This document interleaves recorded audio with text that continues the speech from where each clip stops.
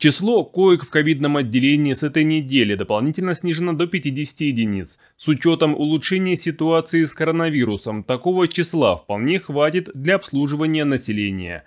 На данный момент по ковидному признаку в МСЧ-135 находится 48 человек.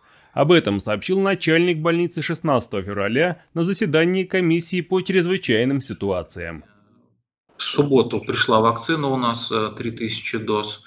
Поэтому темпы вакцинации мы не останавливаем, только наращиваем. На утро сегодняшнего дня привито 1608 человек э, первичным компонентом, и вторым этапом у нас привито 547 человек. Нарастающим итогом к этому дню, по данным ФМБА, в Десногорске зарегистрировано 2010 случаев ковида. Выздоровело около 77%.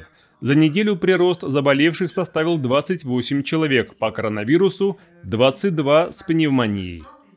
В основном болеют взрослые э, люди старше 50 лет.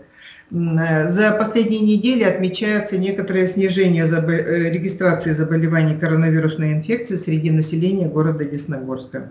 На борьбу со стихией, которая бушевала в городе в прошедшие выходные, выведена вся коммунальная техника и персонал. Снега вывезено почти 1000 кубометров. Но коммунальные предприятия сообщают, что этот показатель мог бы быть и выше. Ну, конечно, слабовато идет, потому что очень большая загруженность придомовой территории на парковках автомобилей. То есть очень неудобно. Очистить город после прошедшего снегопада служба обещает до конца текущей недели.